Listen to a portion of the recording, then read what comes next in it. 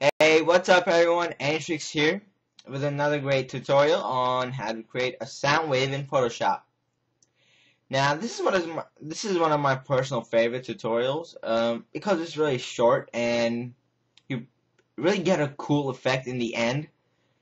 And it only uses simple tools and techniques.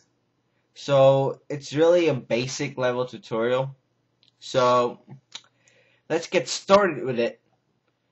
So to start off, we're gonna create a new document, and um, you can name it. Uh, I'll just name it right now, sound wave, and I'm gonna keep it to a 1080p width, just for tutorial sakes, and so that you can see it in like a bigger picture. Uh, you can uh, choose whatever size you want, and uh, with that, you're gonna press OK and now we're gonna fill it with a black background. So choose a black color and um, fill in with Alt Delete.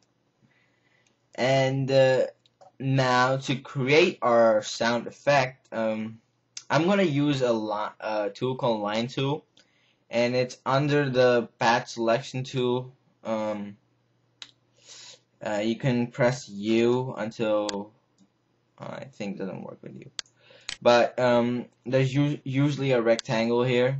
Just click, uh, click, click on it for a few seconds and choose Line Tool from it. So we're gonna draw a straight line. Um, so to do that, we're gonna hold Shift and click and drag from top to the bottom, and we get our line. Now, as you can see in your layer palette, um, there's a shape right here, and there's um, color and there's a vector mask. I don't really like working with the vector ma mm, sorry, uh, vector max mask. Sorry, can't get that word. Uh, vector masks. I got it. And so what I'm gonna do is um, create a new layer. Uh, control click the vector mask thumbnail without selecting it. And then you can see that we get to selection over here. Now, with the layer 2 selected, I'm going to go to my color box, uh, choose a white color, press OK, and then fill it with Alt Delete. Now you can see we have our uh, white line. Now I don't really need the shape, so I'm just going to go ahead and delete it.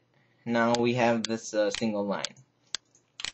Now to get those high spikes uh, of the sound waves, I'm gonna use a effect called the wind.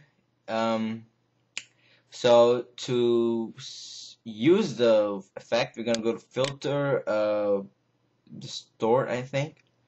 Um, hmm, I forgot where it is. Um, let me just find it. Hmm. Uh, yes, it's in rend uh, filter stylize wind. Now you get an option box over here. Just zoom out if you can't really see. And we really can't see anything. Oh, oh, okay. Uh, I chose the wrong layer. So be sure to select um, layer layer two and then go to filter uh, stylized wind. Now it's really hard to see in here too. So um, you can probably zoom in. But all we need to do is uh, choose a method of wind uh, and first we're gonna do from the right. So I'm just gonna choose wind from the right and press OK now you can see we got these little spikes over here but they're too small. So to intensify this effect I'm gonna use the shortcut control F or you can just go into filter and just repeat the last command which is wind. The shortcut is control plus F so uh, it's still the same thing. So I'm just gonna press Control F um, enough times that the spikes look a little bigger. Um, not too much because at at some time they'll all level out. So about three times um, is uh, good. Okay, so now we have our um, spikes coming from the left. Now we need from the right. So to get from the right, uh, we're gonna go to filter, uh, stylize, wind, and this time we're gonna do it from the left. Now, it's really small and you can't really see, so just select from the left and press OK. Now, to intensify the same result, I'm sorry, intensify this again, we're just to press Control F three times. And for this, I'm just going to press Control F twice because I don't want it to be the same as same length as this one. And it just keeps much more um, like unbalanced kind of look. It's really hard to explain, but I'm just going to press it two times.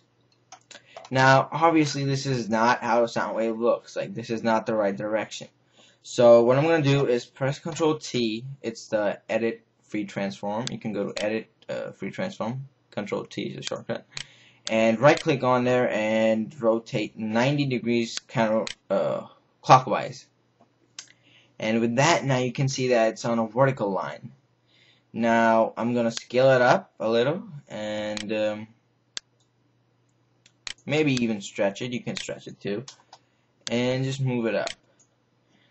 Now you can see that it looks uh, looks uh, more realistic as it's uh, vertical, not her. I think so. No, I mean horizontal and not vertical. But now we need some color on it. So to add color, I'm gonna create a new layer and I'm gonna place it over all of the layers. Go to the gradient tool, gradient tool. Uh, it's um, under eraser and click that and um, go up to the properties and select the rainbow preset, uh, rainbow gradient and press OK. Now to apply this color, I'm going to hold shift and click and drag from left to right. And now you can see your screen's covered up, but that's okay. We're going to go over here under the layers and you can see there's something uh, says normal. It's a drop down menu click it and find overlay. After you find overlay, you can see that all the gradient color has been overlaid on the white uh, white sound white sound effect we created before. So you can switch it off. You can create you can create multiple colors. You know you can choose um uh, orange, yellow, orange, and do the same thing. You know you get a really cool effect. So uh, experiment with that. And um, I'm Anitricks from Anitricks.com. Um, have a nice day.